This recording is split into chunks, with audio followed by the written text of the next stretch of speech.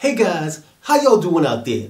It's your boy Malik back on your screen with another tip for the Tube. If you want to help your viewers navigate through your videos, go to different topics, go to different chapters in the video, or just get to the information they need quickly, I'm going to show you how to add links to your description and to your annotations to get people zipping around those videos with the quickness. Let's get into it before my freaking head pops off. Oh, my neck hurt.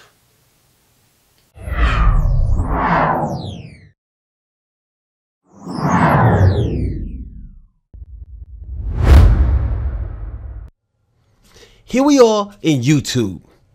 There's two separate ways to help your viewers navigate your videos.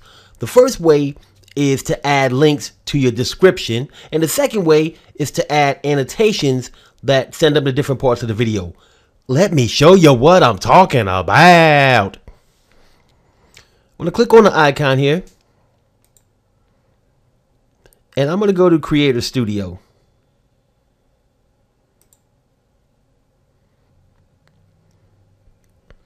Now that I'm in Creator Studio, I'm going to go over to Video Manager. I'm going to click on that.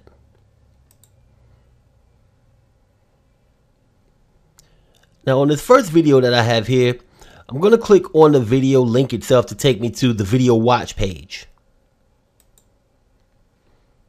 Sometimes you just now I just paused the video real quick to show you that I'm currently at one second in the video. All right. Now, in my description, I've already put links to help people navigate the video. If I click on show more, you'll see that there are timestamps here. Each one of these timestamps, if you click on it, it'll take you to that position in the video. Now you see the video is at one second. If I click on the one at 49 seconds, here we are and you it just took me to 49 seconds in the video. Now it took me a second to, you know, click on pause so it shows at 50. But basically, I can do that with any one of these links here. Now, when you click on it, if you're the owner of this video, it'll take you here to where you can actually change things up. But if I was watching someone else's video, it wouldn't do this. It would just take me to that timestamp. Now, if I wanted to, I could add another timestamp in here. Let's say I added a timestamp for 0 colon 32. And I hit save. Now I have a timestamp for 32 seconds. So when I click on this, you. so you want to give them credit for helping out. Once again, it took me to 32 seconds. Of course, like I said, it took me a second, so it's showing 33. So you can add timestamps all over the place in your videos. Quick, easy, simple, quick, fast, in a hurry, right in the description section. So I'm going to save this.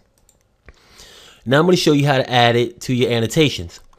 So I'm on the video watch page and I'm going to copy the link for this video. So I'm going to right click and I'm going to click on copy. Now I'm going to click on the annotations here to take me to the annotations page.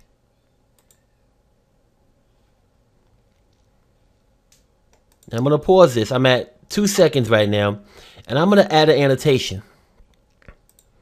I'm gonna click on add. I'm gonna choose a note. You could choose whatever you want to, as long as it's well. I wouldn't say whatever you want. You could choose speech bubble, note, spotlight, or label.